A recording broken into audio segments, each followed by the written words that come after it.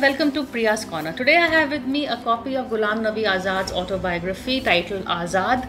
Uh, this book is going to be released in the capital on the 5th, uh, but we have a preview copy with us and it's very interesting. In fact, uh, all, it is a tell-all book and all the congress leaders who thought that ghulam nabi azad had told all in the many interviews he did once he left the congress well unfortunately for the congress he has a lot more to tell.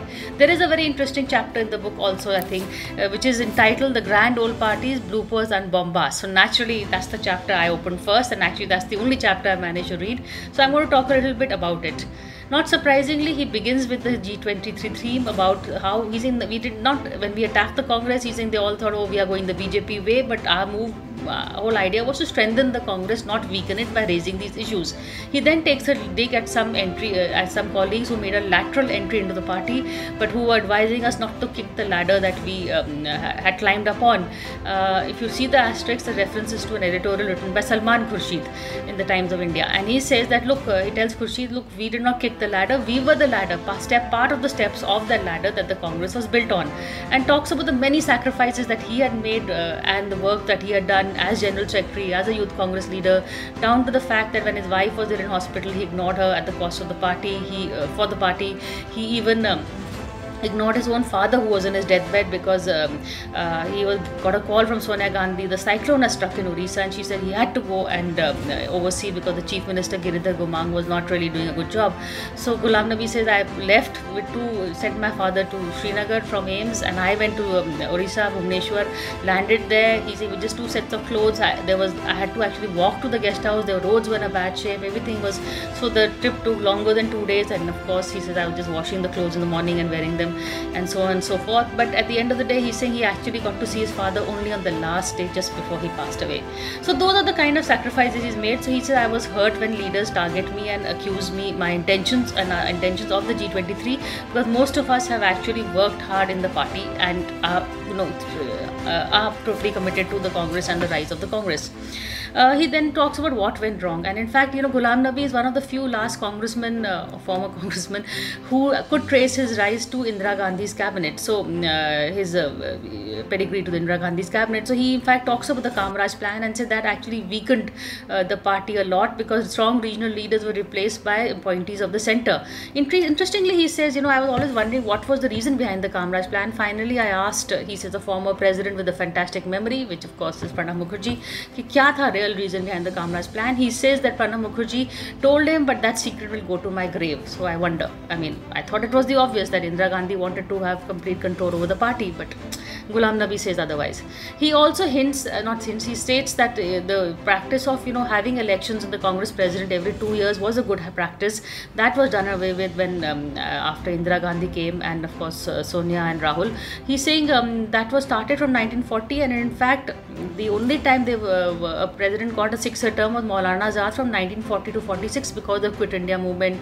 He was in faced a jail term and he's saying that is a habit which has now been picked up by the BJP. They changed president. Well, not recently, Mr. Azad, but more or less they do have elections and it encourages other leaders and all regions to be represented, and in that sense, it is a good practice. Then he goes on to say, mm, he talks about the fact that um, why the Congress is weakened, and people who think that you know this is the 77 lost Congress that lost, it came back, so now it will come back again. He's saying you make a couple of mistakes when you say that. The first, of course, was a strong leader like Indira Gandhi, who even in opposition toward the states uh, met everybody, uh, did not just rest uh, and wait for you know anti-incumbency to come in. Well, Rahul is now doing that with his Bharat Jodo. Uh, he also talks about the fact that at that time Congress had a very strong organization in all the states and there were not that many regional parties. Now that space has been ceded by the Congress to regional parties, so it will be difficult for the Congress to climb back. At that time, he's saying there was only Tamil Nadu which had, had AIDMK and DMK, but now, of course, we have a host of regional parties that have replaced the Congress in almost all the states except Rajasthan, Madhya Pradesh. So that is going to be a big um, stumbling block as he sees it in the Congress uh, comeback he also talks about then he goes state by state and that's very interesting. You know the why the congress fell say in up he's saying on bihar he's saying because strong leaders like jagannath mishra like veerbhadra singh Bagun, and bahuguna were replaced bahuguna and uh, veerbhadra were replaced by nd tiwari and um, jagannath was replaced by various uh, chief ministers who were not as strong as he was. He talks about amrinder's ouster which is very interesting. He says that uh, you know it was not a state led clp meeting but a center sponsored clp meeting that vo- voted amrinder out and very interestingly, he talks about Himanta Biswa Sarma. He says that I was the general secretary in charge, and he says that uh, Himanta had been promised by Tarun Gogoi in 2007 that the next time Congress comes back to power, he will make Himanta the chief minister. In 2006, the Congress came back to power, but Gogoi reneged on his promise. He reneged on his promise even in 2011, which is when Himanta then came and met uh, uh, Ghulam Nabi Azad and put forward his case. He uh, came with 45 MLAs to the state. Uh, so, sorry, he went and I think met Sonia Gandhi put forward his case. And Sonia uh, told Ghulam Nabi to go to Assam and take a look. So Ghulam said, Let me first meet the people in Delhi and call the people in Delhi and ascertain the situation before I go to Assam. So he asked Himanta to bring his MLAs. Himanta brought 45 MLAs. He then called Gogoi. Gogoi sent about 7 MLAs. So he says it's clearly uh, Himanta has the strength. He told Sonia. Sonia said, please go ahead to Assam and change the chief minister. This is what Ghulam is writing in his book. But before that, Rahul Gandhi stepped in and he's saying there is no way. If Himanta wants to go, let him go. And that, he says, is the reason why the Congress lost an important leader and eventually uh, the state of Assam and almost all of the northeast also. So that's an interesting uh, story. Of course, Himanta Biswa himself is such a colorful character that, you know, uh, uh, larger than life um, uh, persona. So anything about him makes news. So the, uh, Nabi Azad has told us about him. He also talks about various states like Tamil Nadu and Karnataka and basically UP, Bihar. In UP, he talks about the alliances. Then he says how alliances, um, Congress is now using regional alliances like crutches. And he talks about the alliance with the BSP in, in 1993 when Rao was there, and he's saying we gave away almost 300 seats to that time UP was not divided to the BSP, and that is the big mistake that Congress made uh, at that time. And he says, though I think he was the general secretary uh, or he was somewhere in charge, but he's saying the decision was also taken by Jitendra Prasad, and he was the civil aviation minister at that time. He says.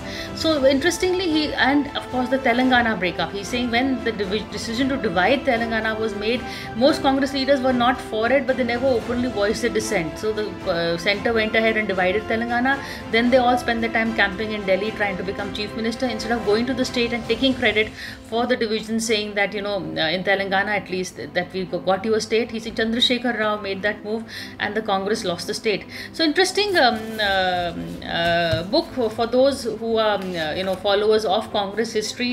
Um, some revelations, but more or less you know it's an interesting read or a take on the Congress from an insider, an insider who's clearly very upset and very bitter.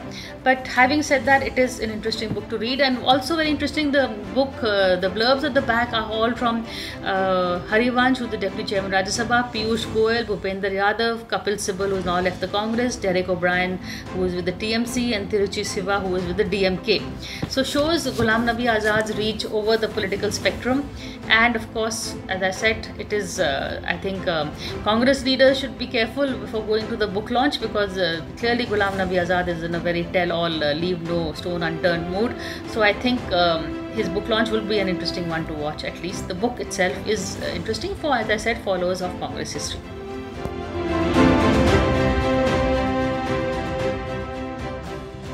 For more such videos subscribe to the newsx youtube channel hit the bell icon